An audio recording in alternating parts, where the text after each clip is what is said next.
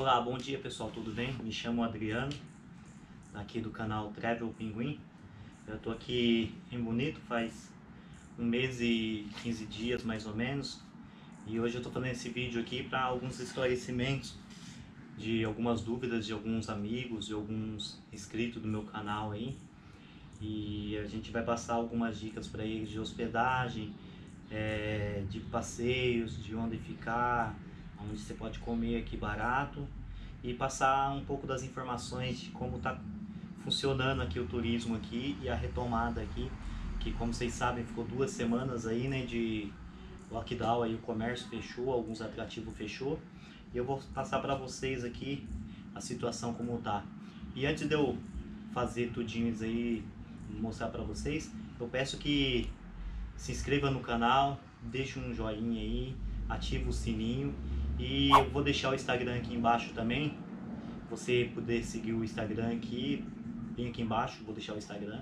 Você pode estar seguindo nossas redes sociais e hoje ou amanhã eu vou estar indo até o centro mostrar um pouco de como está sendo atividade no centro, de restaurante, como é que tá as lojas e mostrar um pouquinho para vocês de bonito como que é a vida de noite aqui, tudo bem? Vamos lá. Então, como vocês sabem, Bonito ficou aqui por duas semanas por devido a um decreto aí que de assim tentar normalizar a saúde na cidade, porque Bonito não não dispõe de leitos, depende de Campo Grande. E estava a situação grande, é crítica em Campo Grande, então devido a não ter leitos, então o prefeito optou em é, fechar durante duas semanas o comércio e alguns passeios que eles fecharam por duas semanas, como Rio da Prata, Estância Mimosa, Buraco das Araras, Jardim Parque, Serra da Bodoquena, Boca da Onça, Parque Ecológico, Bosque das Águas, Refúgio da Barra, Balneário do Sol, Balneário Municipal, que eles falam que pode provocar alguma aglomeração, Balneário Municipal, Estrela do Formoso, Ilha Bonita, Lago da Capela, Porto da Ilha, Barra da é, Praia da Figueira, Cabanas. Balneário só. E Parque das Cachoeiras. Mas esses passeios que eu falei aqui, eles voltaram à normalidade, estão atendendo aos turistas 50% da sua carga, tanto de hospedagem quanto de passeios, e mesmo tendo a retomada, ainda se mantém ainda as medidas de segurança para não ter um avanço. Que nem bonito, tem a segurança aqui, ó.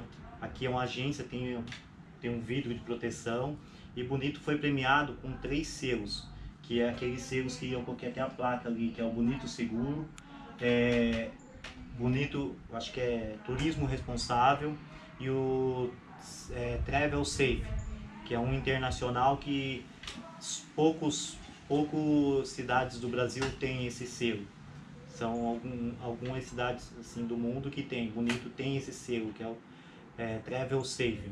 Então, Bonito está cuidando para poder atender os, os turistas com segurança, com medidas.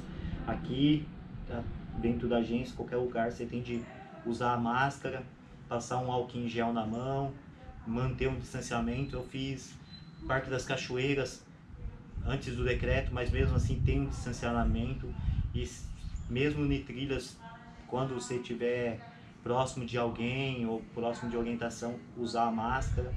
E assim vamos vencendo o coronavírus e vamos tendo o turismo, andando junto um com o outro, né? E se você tem vontade de vir conhecer bonito, pode vir, vem com segurança, use máscara, respeite os protocolos de segurança. E porque Bonito está tendo atividade de turismo e com as medidas de segurança ao mesmo tempo. Então, a, a partir de, de segunda agora, o comércio reabriu novamente com o decreto, estava fechado total até as 9 horas e está funcionando o comércio até as 9 horas.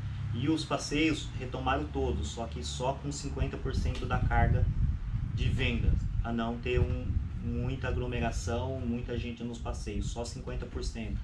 Hotelaria também da cidade e, e é isso aí. Se você tem dúvidas sobre Bonito, quer saber um pouco mais, vou deixar o, o meu Instagram aqui embaixo, vou deixar o meu WhatsApp, vou deixar o a conta, a conta do, da São Jorge, se você quiser saber sobre pacotes, sobre hospedagem, que aqui são dois pontos. Aqui é agência e um, lá em cima é pousada e agência também.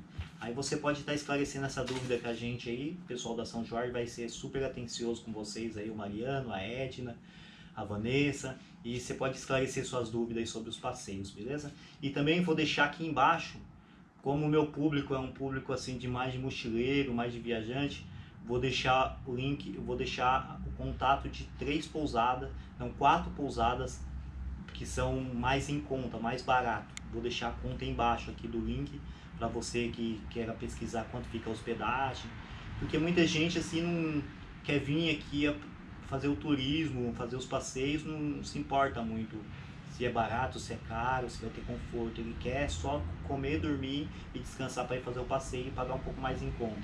Então vou deixar aqui embaixo a conta e os endereços de quatro locais que são assim umas hospedagens mais em conta e você vai gastar menos e vai aproveitar mais aqui em Bonito, beleza?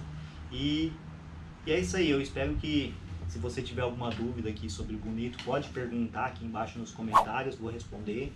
E daqui para frente eu tenho pouco tempo aqui, tenho uma semana só. Eu pretendo estar tá fazendo mais vídeos e informando vocês sobre a, a real situação de Bonito.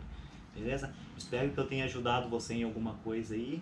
E comente aí, se inscreva no canal e segue meu Instagram que hoje eu vou dar uma volta aqui e apresentar um pouco de bonito para vocês, beleza?